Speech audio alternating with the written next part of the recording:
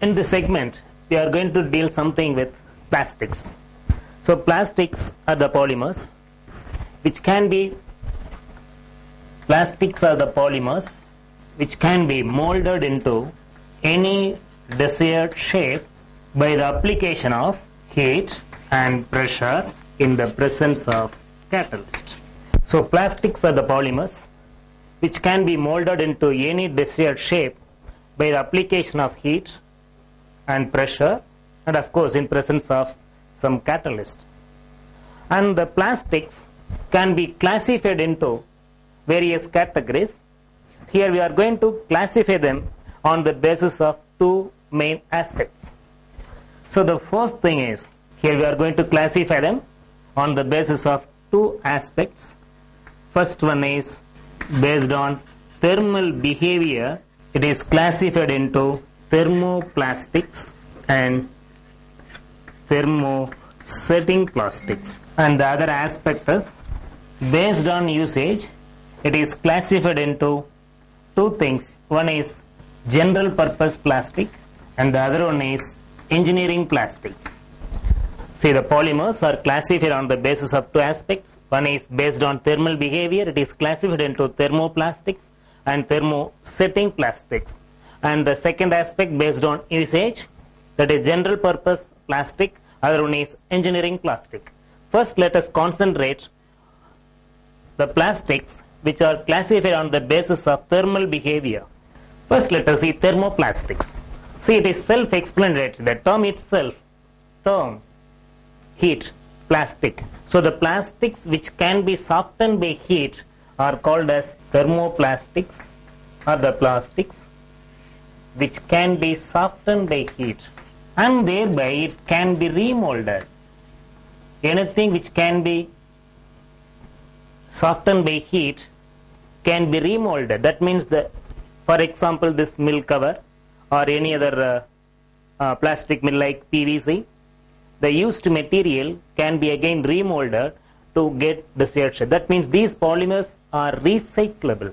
So thermoplastics are recyclable and they are reversible. That means the material which can be made into some desired shape can be again softened and that can be used to make objects again it is reversible. So thermoplastics are the plastics which can be softened by heat and thereby they can be remolded, they are recyclable, they are reversible. The best examples are PVC, polyvinyl chloride and polystyrene or some uh, and nylon or some of the thermoplastics which you are using conventionally.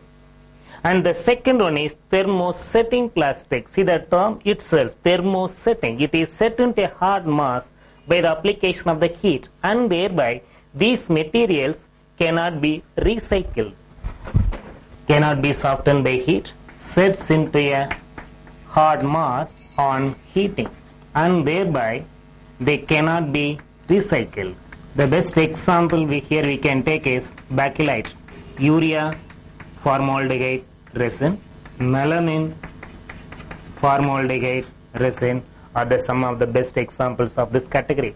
So thermosetting plastics, plastics which cannot be softened by heat and during its molding on heating it sets into a hard mass so cannot be recycled that means these plastics are one time use plastics. Once it is used to make an object that object is permanent. It cannot be recycled to get any other object in due course. Cannot that that's why they cannot be recycled. The best examples are bakelite urea formaldehyde resin and melamine formaldehyde resin are some of the best example of this category so now let us differentiate these two thermoplastics and thermosetting plastics so in the previous section we, we have seen about various types of polymerization addition polymerization and condensation polymerization so the thermoplastics are mainly made by addition polymerization, whereas these are formed through condensation polymerization. And thermoplastics can be, as we have seen earlier, it can be softened by heat, cannot be softened by heat. And when you are taking this thermoplastic, let me say this is the polymer chain, So between the adjacent polymer chains, we have a weak van der Waals force of attraction. Whereas in the case of thermosetting plastic, between adjacent chains, we have a definite covalent bond. So between the two polymer chains, we have a definite covalent bond. So this one is our weak van der Waals force. So the chains are held together by held by weak weak van der Waals force whereas here chains are held by strong covalent bond. That means when you are heating this since the van der Waals forces are very weak heat can overcome this attractive force and the chain can move from one over the other. That means when you are heating this this polymers can be softened. Whereas when you come to this thermosetting plastic between the chains we have a definite strong covalent bond unless otherwise the bond is broken the material cannot be softened. Okay then we may get a question. So by breaking these bonds can we soften it? No once when this bond is broken all other bonds will be broken. So the material is lost. That means charring taking place. It can never be softened by heat.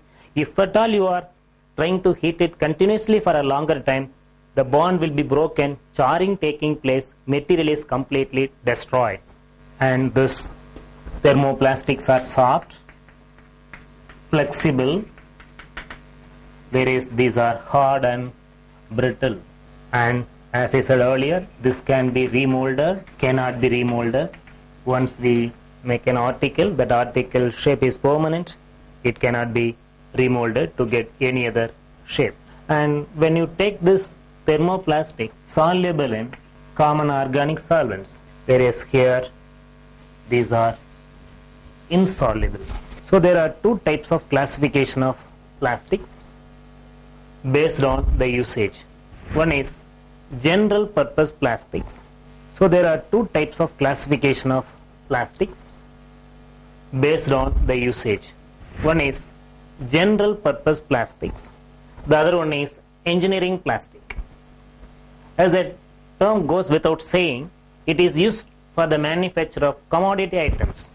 So our uh, conventional uh, household items are made out of this and 80 to 85 percent of the total polymer produced are mainly used for this purpose. The best examples here are polythene, polystyrene, polyvinyl chloride, polypropylene. So we are using the articles made out of these general purpose plastics.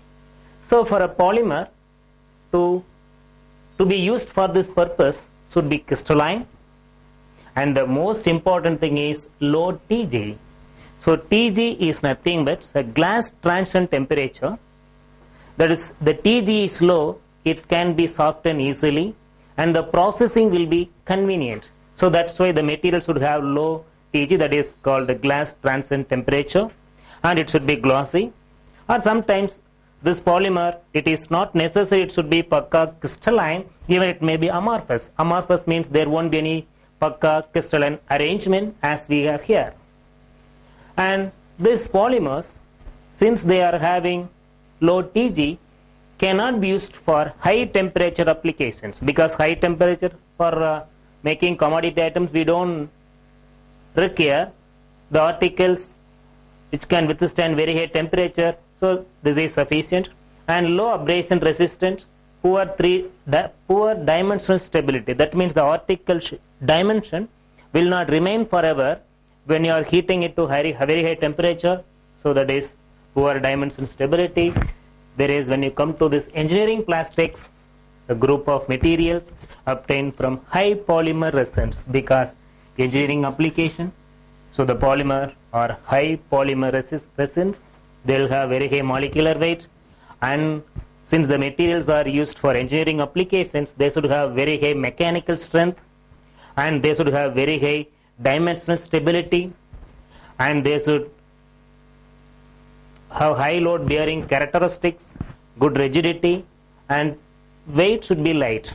In case if the weight is more, then uh, in case if it is heavy material, then article weight will be more. That may not be used for the applications like automobile and other purposes. And when you go to the application side, these engineering plastics are directly used as it is without material it is simply used or in few places in conjugation with the metals these materials are used. Here some of the areas where we are using widely automobiles, defense, electrical, electronics and telecommunication and textiles and satellite, computer like that we are using this engineering plastics in variety of areas.